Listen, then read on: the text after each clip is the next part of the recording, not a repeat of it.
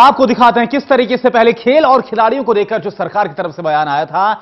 इसके बाद सरकार घिर गई थी चौतरफा हमलों से। और उसके बाद कैसे डैमेज कंट्रोल किया गया? दिखाते हैं आपको। दरअसल, हरियाणा सरकार राय स्पोर्ट्स स्कूल को स्पोर्ट्स यूनिवर्सिटी बनाने पर विचार कर रही है। मुख्यमंत्री मनोहर लाल खट्टर का साफ़ कहना है कि स्पोर्ट्स यूनिवर्सिटी बनने से खेल और खिलाड़ियों को और ज़्यादा फ़ायदा मिलेगा, लेकिन सवाल यह उठ रहा है कि स्पोर्ट्स यूनिवर्सिटी बनाने के पीछे सरकार की मंशा वाकई में खेल और खेलों को बढ़ावा देने की है, या फिर सरकार खिलाड़ियों की कमाई में हिस्सेदारी वाले प्रकरण से हुए नुकसान की भरपाई के लिए यह आश्वासन दे रही है।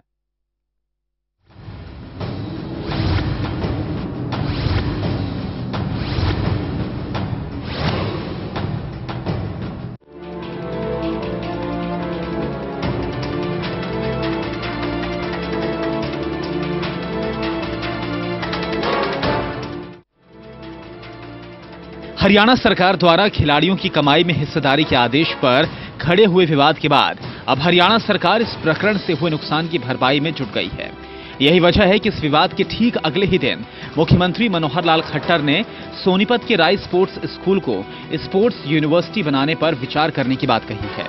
मुख्यमंत्री खट्टर ने यहाँ तक कहा कि सोनीपत राय स्पोर्ट्स स्कूल को स्पोर्ट्स यूनिवर्सिटी बनाए जाने पर विचार चल रहा है, जिससे स्पोर्ट्स की और ज़्यादा गतिविधि बढ़े।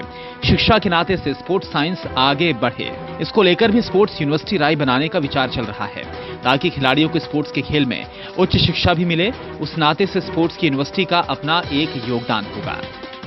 हमने एक विषय कहा है तो स्पोर्ट्स डिपार्टमेंट बैठ के विचार कर रहा है। कि हम अपने स्पोर्ट्स की गतिविधियों को और बढ़ाने के लिए और एक एक शिक्षा के नाते से भी स्पोर्ट्स साइंस ये और ज़रा आगे बढ़े, क्योंकि खेलने के यानी जो विद्यार्थियों को और उच्च शिक्षा, स्पोर्ट्स के फ़ील्ड में भी मिले तो उस नाते से स्पोर्ट्स की यूनिवर्सिटी का अपना योगदान है कुरुक्षेत्र पहुँचे मुख्यमंत्री मनोहर लाल खट्टर ने। मीडिया के उन तमाम सवालों का भी जवाब दिया, जिसमें ये कहा जा रहा था कि सरकार ने पिछड़ी जाति के खिलाड़ियों की छात्रवृत्ति रोक दी है।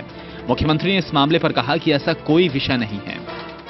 खबर छपी है आज कल के एक खबर के बाद की जो पिछड़ी जाति के जो खिलाड़ी हैं उनकी छात्रवृत्ति नहीं ऐसा कोई विषय नहीं हरियाणा सरकार द्वारा खिलाड़ियों की कमाई में हिस्सेदारी के आदेश पर खड़े हुए विवाद और उसके बाद नोटिफिकेशन वापस लेने के मामले पर सीएम ने कहा कि खिलाड़ियों की प्रोफेशनल और कमर्शियल कमाई वाले मामले को फ़िलहाल होल्ड कर दिया गया है और इस पर बाद में विचार किया जाएगा।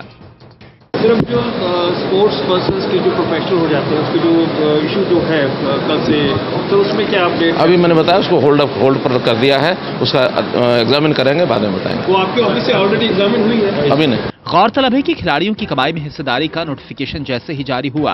उस नोटिफिकेशन पर खेल जगत से लेकर सियासी हलकों तक में हलचल मच गई।